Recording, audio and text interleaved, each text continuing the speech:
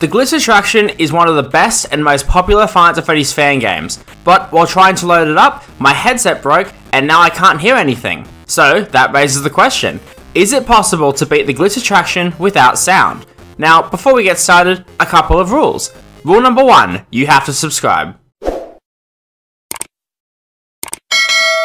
Rule number two, I'm not allowed to listen to any sound from the game or use any audio visualizers to tell when sound is playing. Now, I streamed this challenge over two days, and each day was a little bit different. Day one has game audio, but my headphones were off so I couldn't hear anything. And day two, I was wearing headphones because I was in VC with one of my friends when running attempts. Because as you will see, this wasn't easy. Although they didn't help me since they couldn't hear any sound either. I had my game muted, both in windowed mode and the game itself, so for anyone who says I cheated, there you go, there's your proof.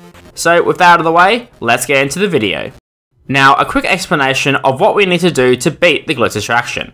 We have 6 main levels based on an escape room theme, and we need to beat all 6 to complete the game. Each level is based off a game in the franchise and has different threats, goals, and challenges along the road. So, let's start with level 1, also known as Nightmares. The first level is based off the FNAF 4 location, where we need to solve a Freddy puzzle in order to get a code that unlocks a safe containing a hammer, allowing us to escape. In this level, as with every single level, there are a number of threats that we have to deal with.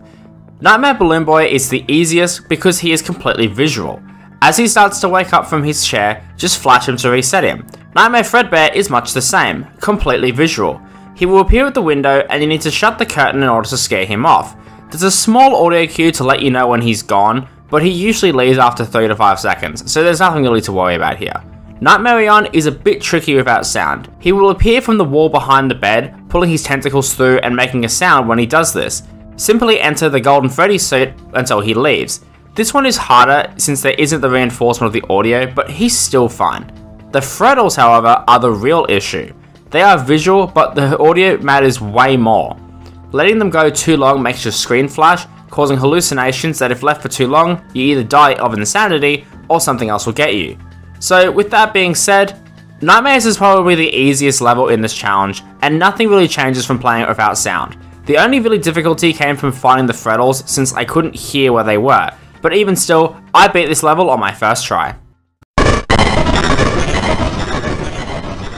The second level is based off the Nights at Freddy's 2 location, and this is where the difficulty really shot up, as we now have two characters which are entirely reliant on sound, that being Mangle and Withered Freddy.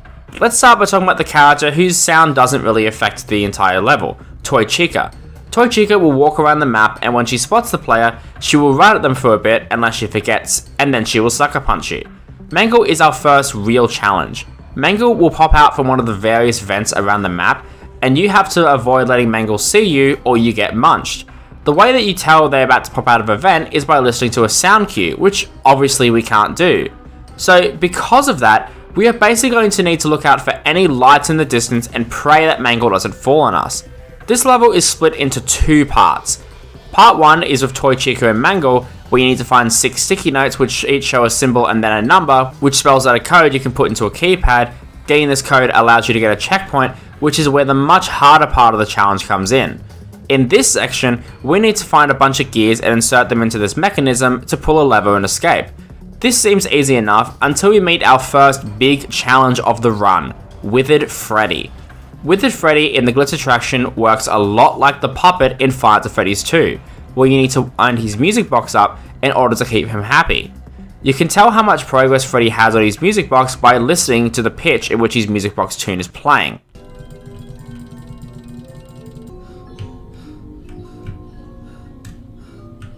However, obviously we can't hear the pitch, so we will never know what stage Freddy is at. So we should just keep winding it every chance we get, right? Wrong. Because one thing that is different about Freddy compared to the puppet is that you can actually overwind Freddy's music box. Doing this causes him to break out. Whether he breaks out from you overwinding or by you letting the box run out, Freddy will then guard the room you need to put the gears in and basically end your game. In earlier versions of the game, you could actually sneak past Freddy, but that's been patched. So what's the strategy here? Well, I wasn't so sure. The biggest problem with this challenge was actually Toy Chica. Because of all the gears scattered around the room, I would need to walk behind Toy Chica's fat ass in order to get the gears on the other side of the room. However, this did two things. One, it made it very difficult to reach Withered Freddy at all, and two, it made it more likely that Mangle would jump me since I wasn't constantly moving. So, while it wasn't set in stone, the strategy was kinda like this.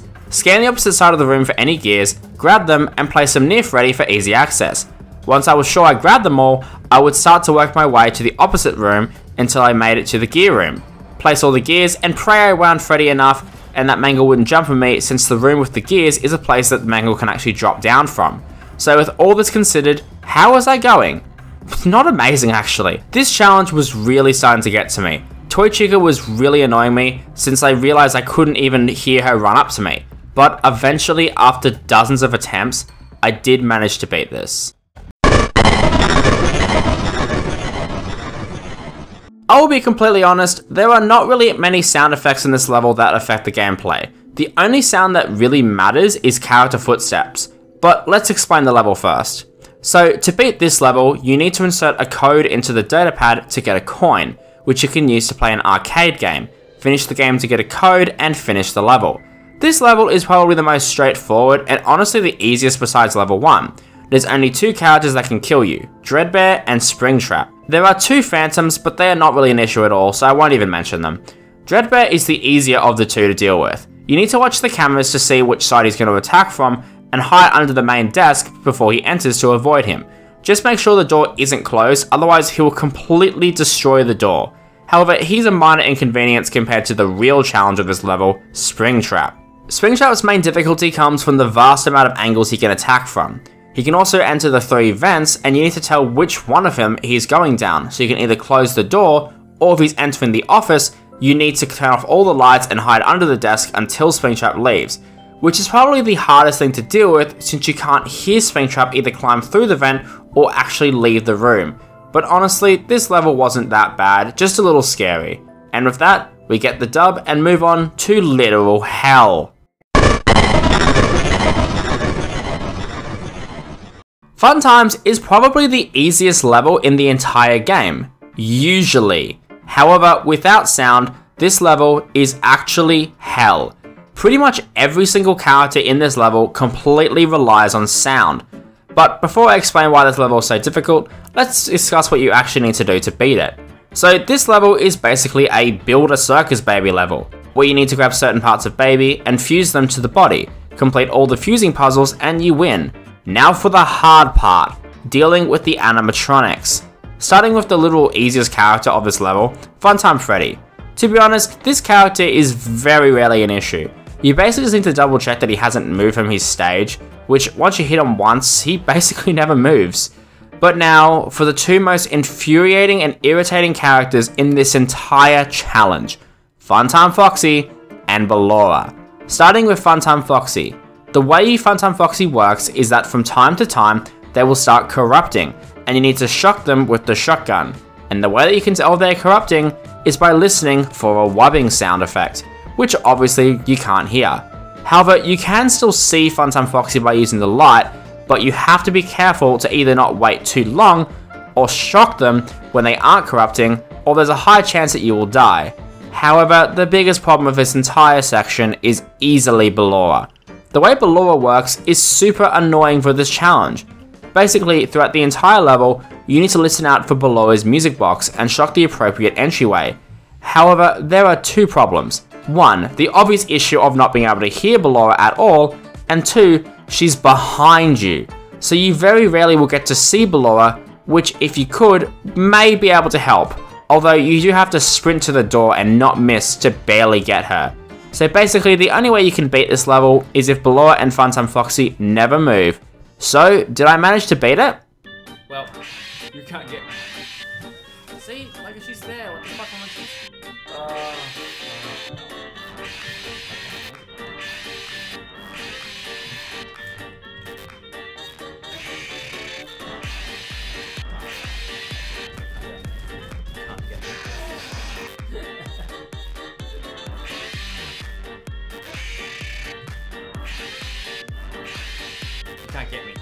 Can't get.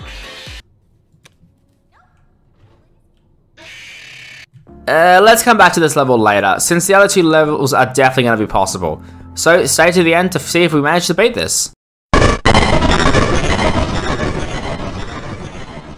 Lost Media is probably the hardest level in the Glitch Attraction, even though you only have one animatronic to deal with, that being Enid.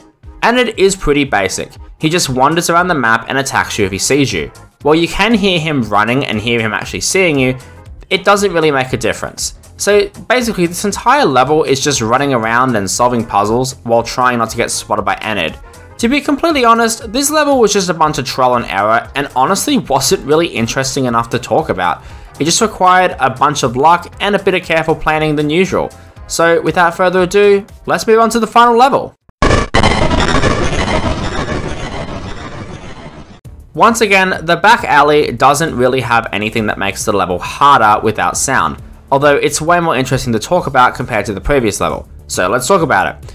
So to beat this level, you need to solve a matchmaking puzzle and complete a pizza sim minigame to unlock a room with a projector and a coin.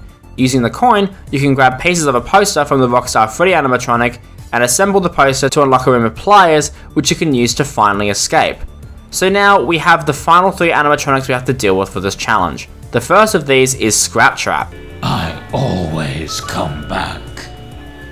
Scrap Trap will slowly set up from his desk, and you need to close the door and use the call function to send him back to his desk when he stands up.